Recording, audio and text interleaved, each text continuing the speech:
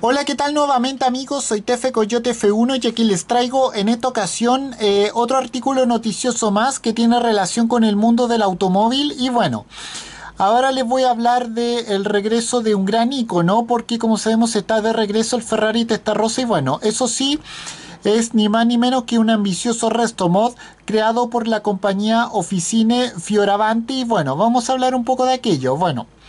Como sabemos, el, el Ferrari Testarossa es uno de los grandes coches íconos de los años 1980-1990 dentro del mundo de los coches eh, superdeportivos, un modelo que forma parte de la larga saga de coches eh, con motor central trasero de la casa automotriz de Maranello, pero que eh, a diferencia de los de hoy en día optaba por un propulsor tipo V12 de 4,9 litros y a 180 grados. Bueno, un, eh, un bloque que, eh, que ya volvió a rugir con su icónica carrocería gracias a un ambicioso proyecto que comenzó hace, hace 14 meses antes una, una, empresa suiza llamada Officine Fioravanti, cuyas intenciones pasaban por resucitar a este legendario eh, modelo para convertir a este clásico coche Ferrari en un superdeportivo capaz de tener eh, capaz de tener 200, eh, 201 millas lo que equivale a 323 kilómetros por hora y parece que lo consiguieron se dice esto ya que eh, las horas recientes se acaba, acaban, de, acaban de publicar las primeras fotografías oficiales de este coche ya sin el camuflaje de principios de año. Bueno, eh, según explica la mismísima compañía, no quisieron tocar el diseño inconfundible trazado por, Pinifarina porque según ellos eh, no, no hay razón para dar lecciones a un maestro, solamente sus famosas llantas de 16 pulgadas con 5 radios con forma de,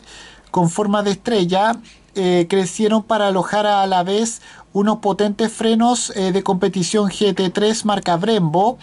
eh, y unos eh, neumáticos modernos de alto rendimiento. En todo caso, la empresa sí, eh, sí está hablando de una reducción en el peso.